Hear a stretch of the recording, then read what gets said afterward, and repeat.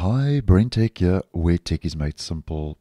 So, just a bit of news regarding the future of Office.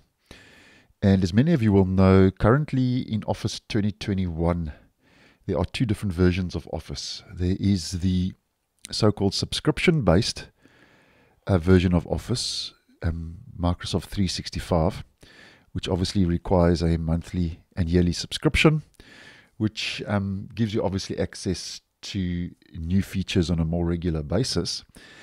And then there's the non subscription version of Microsoft Office 2021, and that's the standalone, which doesn't require a subscription, but obviously means you don't get as many new features um, on that regular basis.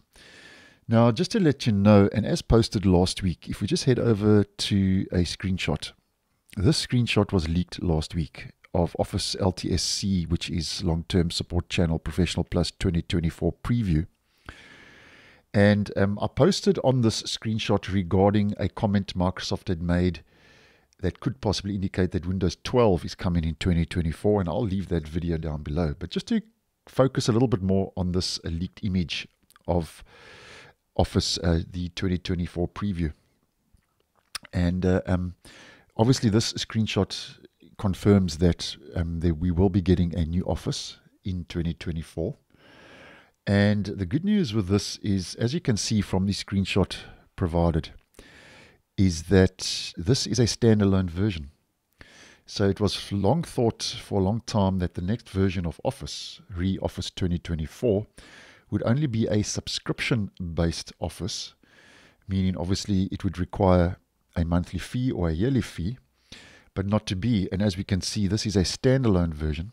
So it seems now that Microsoft is going to be pushing out a standalone version um, in 2024. And at this stage, um, the release of the Microsoft, Microsoft Office uh, 2024, um, at this stage, it seems it's going to be pushed out in the second half of next year.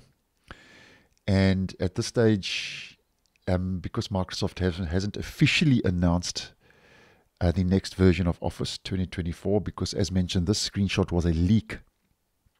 And we don't have too much information at this stage about the price, uh, the different editions and features. But nonetheless, um, I do know a lot of you do use Office and just wanted to bring it to your attention that um, the next version, version 2024, won't just be a subscription based version, but there's a strong possibility that it'll also be a standalone version according to that leaked screenshot. So thanks for watching, and I'll see you in the next one.